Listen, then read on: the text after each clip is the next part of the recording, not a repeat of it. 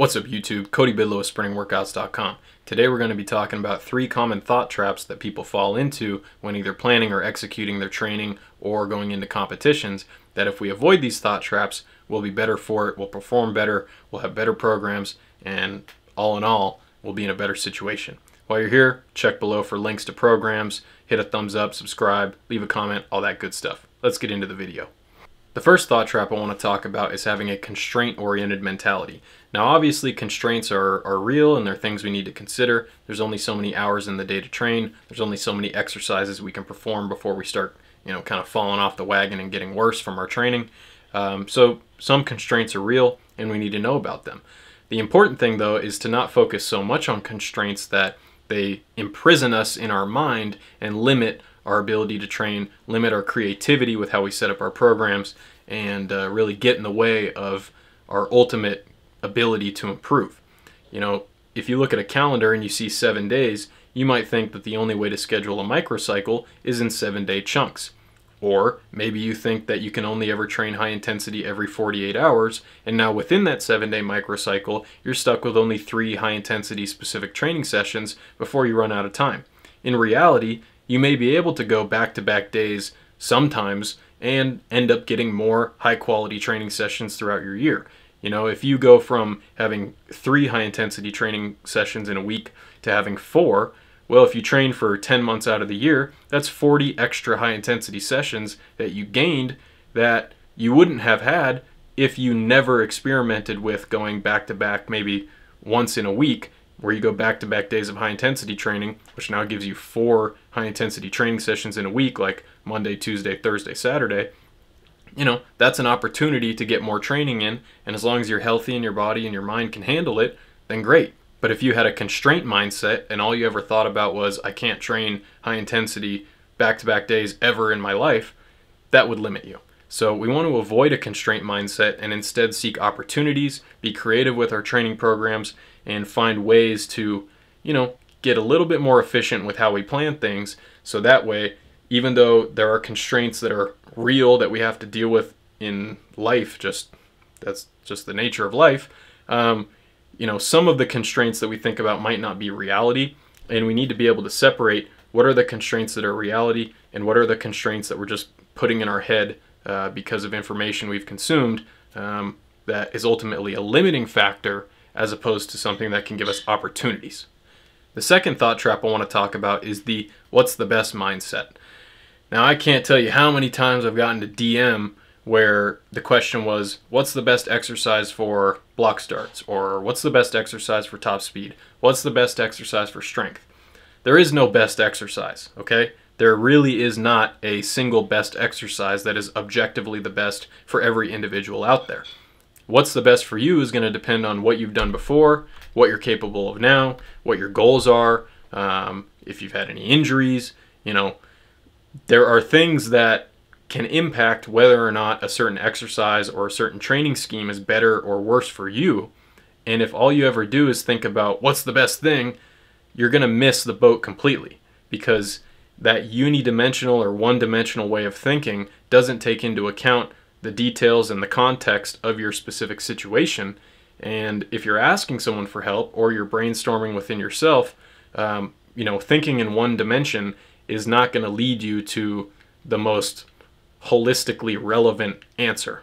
So instead of having a what's the best type of mentality, think multidimensionally so that way you can consider different contextual factors which are affecting you now, which impact what the answer is to the question of what is the best thing for this, okay?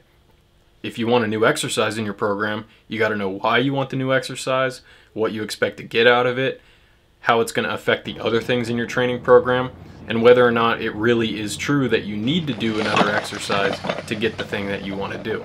You know, maybe focusing on adding a new exercise is not what you need to do, and instead you need to just keep doing what you've been doing, hone your technique, you know, polish up your recovery, your sleep, all that stuff.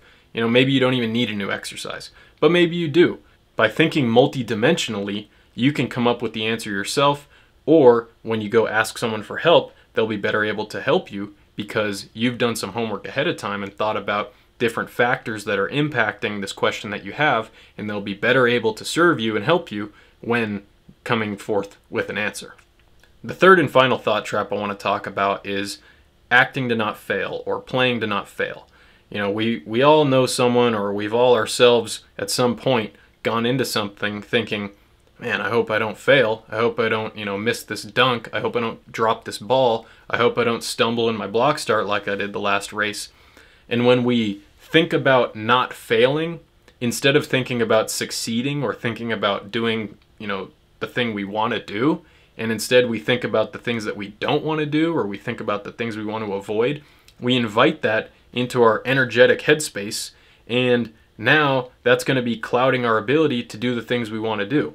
If you're sitting in the blocks in a race and you're thinking, I hope I don't stumble, you're probably going to stumble because that's what you've now invited into your head and that's your focus for that split second. Instead of having a mentality that is oriented around failure and playing to not fail, we need to have a mentality that is centered around being successful, that emanates confidence, and that attracts the things we want to achieve with whatever we're doing. If we're doing block starts, we need to attract, you know, explosive speed and being powerful and being fast, whatever resonates with you. We don't want to attract, I hope I don't stumble, or I hope I don't, you know, false start, or something like that. If you're playing football, you don't go out and play wide receiver with the mentality of, oh, I hope I don't drop this ball right now. You know, you go out there with, I'm going to catch that ball. And if I'm not catching that ball, I'm making sure that the defender does not get an interception. You know, I'm going to do all I can to make sure that this play has a successful outcome. And if it's not looking like it's going to be a successful outcome, I'm at least going to make it a neutral outcome. You know, if you go into a race and all you have is just confidence, success, and positivity in your head, you're probably going to run faster. You're going to be lighter on your feet because you don't have some big weight weighing you down mentally, which then manifests in weighing you down physically, which is going to make you run slower. So when you're out there, either at practice, in a competition, wherever it may be, focus on being confident, focus on success rather than focusing on failure.